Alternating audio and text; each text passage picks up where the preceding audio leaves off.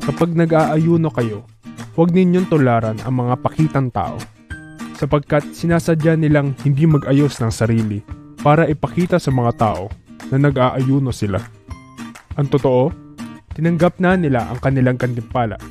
Sa halip, kung mag-aayuno kayo, maghilamos at mag-ayos kayo ng sarili upang hindi malaman ng mga tao na nag-aayuno kayo, maliban sa inyong ama na hindi nakikita.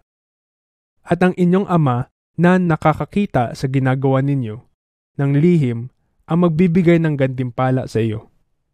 Huwag kayong mag-ipon ng kayamanan para sa inyong sarili rito sa mundo dahil dito ay may mga insekto at kalawang nasisira sa inyong kayamanan at mga magnanakaw na kukuha nito. Sa halip, mag-ipon kayo ng kayamanan sa langit kung saan walang insekto at kalawang na naninira at walang nakakapasok na magnanakaw. Sapagkat kung nasaan ang inyong kayamanan, naroon din ang inyong puso. Ang mata ang nagsisilbing ilaw ng katawan. Kung malinaw ang inyong mata, maliliwanagan ang buo mong katawan.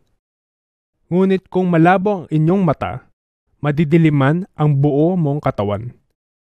Kaya kung nagsisilbing ilaw mo ay walang ibinibigay na liwanag, napakadilim ng kalagayan mo. Walang taong makapaglilingkod ng sabay sa dalawang amo, sapagkat kapapuotan niya ang isa at iibigin ang ikalawa, o kaya magiging tapat siya sa isa at hahamakin ang ikalawa. Ganoon din naman, hindi kayo makakapaglingkod ng sabay sa Diyos at sa kayamanan.